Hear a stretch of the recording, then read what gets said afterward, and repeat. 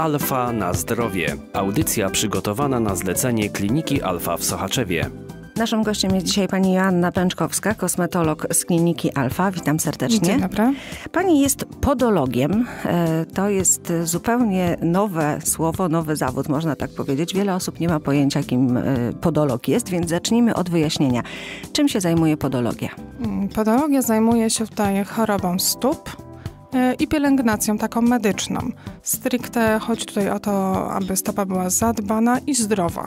Pielęgnacja medyczna, a kosmetyczna to różne rzeczy? Tak, bo kosmetyczna bardziej się różni tutaj o upiększenie, koloryzacja, a medyczna to jest e, nie upiększenie, tylko mm, z- Leczenie, Leczenie, tak, dokładnie. Leczenie stopy tak, aby stopa była e, medycznie przygotowana do tego, aby prawidłowo funkcjonowała, dokładnie. Z jakimi problemami najczęściej mamy do czynienia, jeżeli chodzi o stopy? Bo na stopy to prawie każdy narzeka. E, tak, owszem. Najczęściej to jest e, problem odcisków, modzeli, często wrastające paznokcie. E, zdarzają się też e, brodawki wirusowe. E, To proszę powiedzieć, co to są modzele na przykład, bo ja osobiście nie wiem. Modzele podobne są do odcisków, różnią się tym, że nie mają rdzenia, są bardziej przerosłe. Jest to e, reakcja organizmu na ucisk e, bądź tarcie. E, Jest to przerosła e, skóra, która rogowacieje, przez to e, często są dolegliwości bólowe. e, No i jest nieestetyczna na stopie. A proszę mi powiedzieć, czy my umiemy dbać o stopy? Mm, Polacy niekoniecznie. No właśnie, a, a co jest taką podstawą, takim ABC? ABC to jest na pewno e, usuwanie rogowaceń, które mamy problemy. Często e, pielęgnacja Polaków polega na tym, że myją stopy i na tym się kończy. A nie powinno. To nie powinien być początek, tak? Powinien być początek, powinno e, usuwać się z rogowacenia, robić peelingi. Na koniec oczywiście pielęgnacja kremem. Co dalej? Co dalej? No najlepiej udać się do podologa, gdy jest problem. A żeby nie było problemu, wygodne buty, E, prawda? Wygodne buty, tak, jak Z tym najbardziej. też chyba mamy problem. Nosimy za małe buty bądź za luźne. Ym, Panie w szczególności noszą obsasy, bardzo wysokie, niewygodne i upinające y, palce stóp. A do pani, do kliniki Alfa, z jakimi problemami najczęściej zgłaszają się pacjenci? E, Odciski oczywiście, mocele, wrastające paznokcie, brodawki wirusowe. To wszystko, o czym pani To mówiła. wszystko, o czym mówimy, najczęściej to są jednak odciski. Mhm. I pani może je usunąć, bo do tej pory było tak, że szło się do chirurga z odciskiem, tak? E, tak, e, oczywiście da się to usunąć. No nie zrobimy tego od razu, od ręki zazwyczaj. Jest to kilka zabiegów seryjnych, po co 2-3 tygodnie się spotykamy. E, I zazwyczaj jest to sukcesywne i kończy się wyleczeniem pełnym.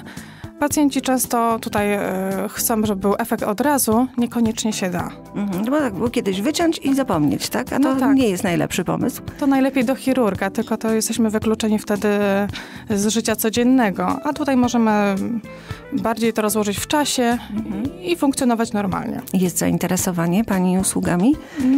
Coraz większe Coraz pewnie. większe, tak. I teraz w szczególności na lato pacjenci wiedzą, że muszą stopę pokazać, więc y, tutaj jak najbardziej się to zwiększa. Tendencja wzrostowa ku, ku latu. Mhm. Do tej pory y, to, co- to, o czym pani mówi, kojarzyło się raczej z kosmetyką. Od niedawna y, można ten zawód uprawiać medycznie, prawda? E, tak, od początku stycznia e, zawód został zarejestrowany jako podolog u nas w Polsce. Zawsze wcześniej to był kosmetolog bądź kosmetyczka. E, tak jak już e, tutaj e, wiemy, na w zachodzie Europy jest to już standardem. U nas dopiero początkuje, raczkuje e, i coraz częściej jest to e, zawód, który kojarzymy ogólnie ze stopami. Mhm. A Polacy bardziej pod kątem estetycznym do pani przychodzą, czy bardziej pod kątem bólowym? Pod kątem bólowym, bo do mnie pacjenci trafiają już naprawdę w takich drastycznych sytuacjach, kiedy już chodzić nie mogą, spróbowali już chirurga, e, już są kierowani na operacje, zabiegi, A nie chcą. a nie chcą i szukają pomocy gdzie indziej. E, I tutaj najczęściej właśnie mm, takie drastyczne już sytuacje są. Ja bym wolała, żeby ci pacjenci trafiali, gdy coś zaczyna się dziać. No właśnie, a kiedy y, coś zaczyna się dziać? Kiedy, jakie sygnały ostrzegawcze powinny zwrócić naszą uwagę? Pierwsze to jest ból.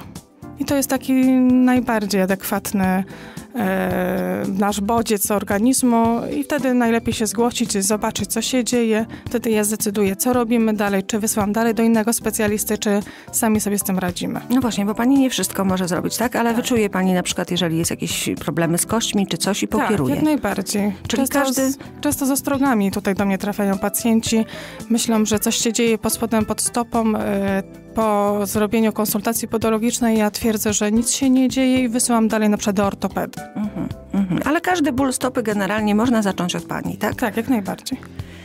Użyła pani kilka razy takiego określenia brodawki wirusowe. To co to właściwie znaczy i u kogo się pojawia?